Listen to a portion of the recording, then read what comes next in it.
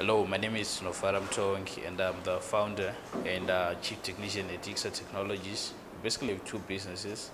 Uh, one is we repair and uh, fix smartphones and laptops. And the second business is now that we, we train people to do the same thing. Because we're doing the business, were many young people or people had no jobs or people just wanted something extra to do. We asking us, how do you learn this? How can we do this? and there was no training institution in Zimbabwe. So we took it upon ourselves and we started training uh, these people, and we've trained quite a lot of people uh, to date.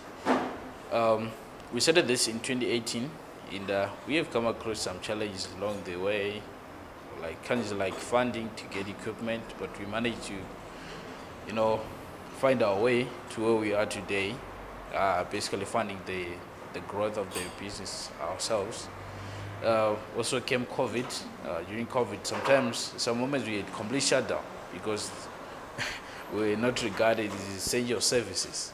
So we had moments where we were completely closed, uh, closed down, and that affected our business a lot because that means uh, that made no revenues. At some point, we tried to do online lessons for things that can be learned online, but that proved so difficult uh, because this is a very practical and hands-on thing where someone needs to really be present at the workshop um, and they learn using the equipment, you know, getting their hands dirty. So those were some of the challenges that we faced. But we, we, we have kind of uh, passed through that phase is, uh, you know, things is up and uh, the lockdowns uh, measures get uh, less tight. So we, we have kind of overcome that.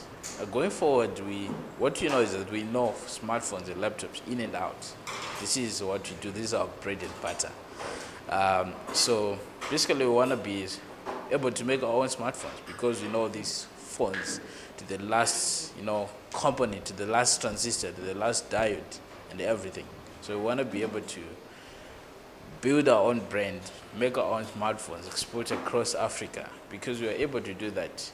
Um, so just one day we're gonna get someone who's gonna believe in the vision, invest in us, and everyone will know Ixa smartphones is the best. Compete with the world's best because we are capable of doing that.